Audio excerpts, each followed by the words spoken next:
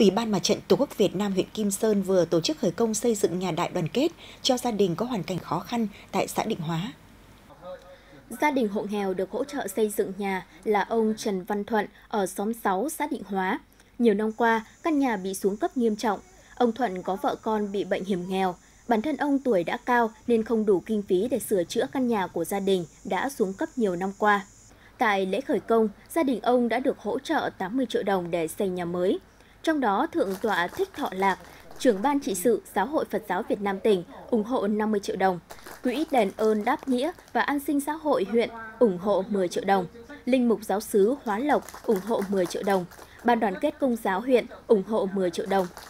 Chương trình hỗ trợ xây dựng nhà đại đoàn kết của Ủy ban Mặt trận Tổ quốc Việt Nam huyện Kim Sơn những năm qua đã có sức lan tỏa sâu rộng, thể hiện tinh thần đoàn kết, tương thân tương ái được đông đảo các tầng lớp nhân dân, các cơ quan đơn vị doanh nghiệp trên địa bàn huyện đồng tình hưởng ứng.